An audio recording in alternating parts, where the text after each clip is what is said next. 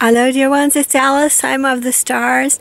I was listening on the psychic plane just now and I heard a term, deep freeze, that is said to be in a confidence game when there's a potential victim or patsy who's going to be robbed and maybe killed.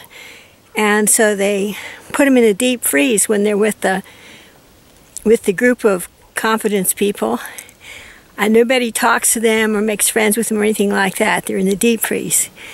Then, when they want to uh, accomplish the game that they have planned with that person, they separate them from the other patsies and invite them to a get together with the group of the in group, the confidence people, and the person goes, Oh, wow, now maybe they'll accept me. This is my chance. This is my opportunity to join the group and be accepted.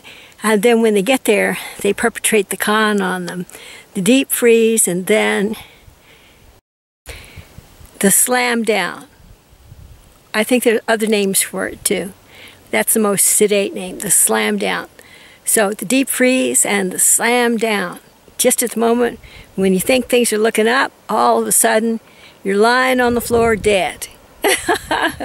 and then they move on to the next victim. Same, same. I don't know how much truth there is in this. The astral airs are just the breezes that blow in the realm of the astral body.